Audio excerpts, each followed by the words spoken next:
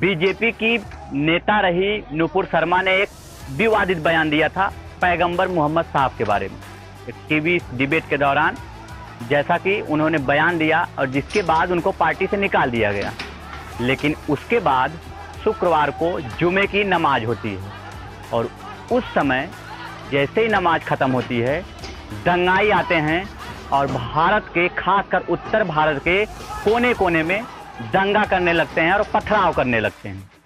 सवाल ये है कि अगर ये उनका शुक्रवार का दिन पवित्र दिन होता है, प्रार्थना का दिन होता है तो इस दिन हिंसा करने की ज़रूरत या किसी भी दिन किसी बयान के ज़रिए हिंसा करने की, दंगा करने की ज़रूरत ही क्या है? अगर वो कानून के दायरे में गलत भी है बयान तो उस पर दंगा क्यों करना चाहिए? ये दंगाई जो थे जिस तरीके से पुलिस पे पथराव कर रहे थे, अगर ये पुलिस ना होती तो ये दंगाई शायद रहते भी ना।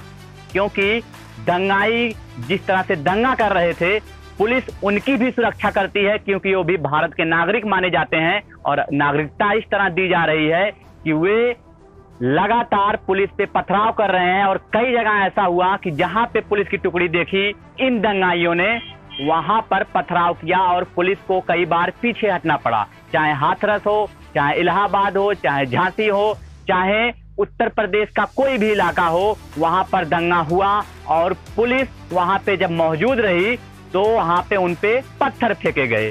ये जो पत्थर फेंके जा रहे हैं, इतनी हिम्मत दंगाइयों को कहाँ से मिल रही है? ये सवाल ज़रूर बनता है। ये जो दंगा कर रहे हैं, इनका मनोबल इतना कहाँ बढ़ा हुआ है कि इन्हें ना तो संविधान का डर है, ना तो कानून का डर है और ना ही किसी और चीज़ का। कहीं ना कहीं इनके पीछे बड़ा हाथ है और इनको कहीं ना कहीं बहलाया जा रहा है क्योंकि वीडियो में आप साफ़ देख सकते हैं, ऐसे कई वायरल वीडियो हैं जिसमें पंद्रह से सत्रह साल के बच्चे पत्थर फेंक रहे हैं। उनको ये भी पता नहीं है, उनका करियर इन दंगाइयों के पीछे इन दंगाइयों के पीछे जो साजिश थी, उन्होंने इनका करियर बर्बाद कर दिया है, क्योंकि ये पत्थर जब फेंक रहे हैं तो इनके खिलाफ एफआईआर भी होंगे, पकड़े भी जाएँगे, और पुलिस इनकी कुटाई भी करेगी।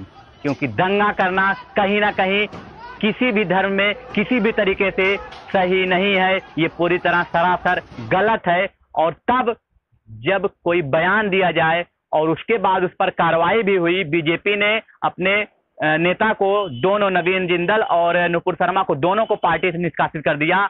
उसके बाद धीरे धीरे समय बीतता है और दंगा एक संगठित तरीके से होता है, क्योंकि शुक्रवार का दिन ऐसी क्या ज़रूरत आन पड़ी कि सब इकट्ठा होकर दंगाई दंगा करने लगे।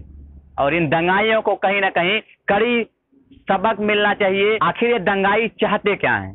ये दंगा क्यों कर रहे हैं? इसके पीछे कौन है? बहरहाल, ये तो जाँच का विषय होगा।